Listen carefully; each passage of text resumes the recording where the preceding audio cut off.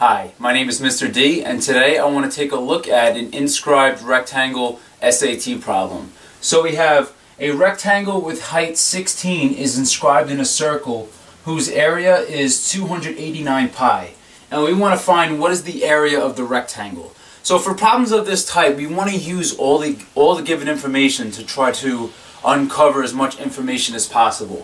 For instance, we know that the height of the rectangle is 16. So the first thing we should do is label the information that was given to us. And now we're also told that the area of the circle is 289 pi. Well, in general, and this is also on the reference sheet, we know that we know that the area of a circle is pi r squared. So what we could do is we could substitute the area for 289 pi. That is, we're going to replace the letter A with 289 pi because we were told that the area of the circle is 289 pi. And now we still set this equal to pi r squared. So now to solve for r, or to find the radius of this circle, all we need to do is we divide both sides by pi, and the pi's will cancel on both sides. And now we have 289 equals r squared. So to find the length of the radius, we take the square root of both sides, and we find that the radius is 17. So now with this information, we could draw the center of our circle, and we could construct two radii.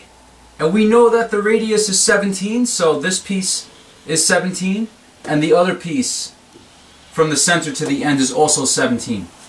And because we have a rectangle, we know that we have four right angles. So one thing to note is that the diameter of the circle will represent the hypotenuse of this right triangle. And if we want to find the length of the hypotenuse, all we need to do is add up the two radii. So 17 plus 17 will give us 34. So we have a right triangle with one leg 16 and a hypotenuse of 34. So to find the length of the missing leg, we could use the Pythagorean theorem. So in general, we have a squared plus b squared equals c squared, where a and b are the legs and c is the hypotenuse. So all we need to do now is substitute. We know one of the legs is 16, so we have 16 squared plus b squared equals the hypotenuse, which is 34. And we're squaring this quantity. So now 16 squared is 256 plus b squared is equal to, and 34 squared is 1156. So now all we need to do to solve for b, or the missing leg, we're going to subtract 256 from both sides. 256 minus 256 cancels.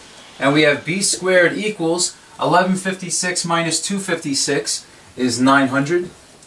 And now to find the length of the missing leg, we just take the square root of both sides and we have b equals 30. So now we can label the missing side of this rectangle as 30. So now when we think about it, the question is asking us what is the area of the rectangle? And to find the area of a rectangle, all we need to do is multiply base times height. And now we just found the base of this rectangle to be 30. So we have 30 times the height which was given to us, 16. And now we evaluate. 30 times 16 is 480. So on the SAT,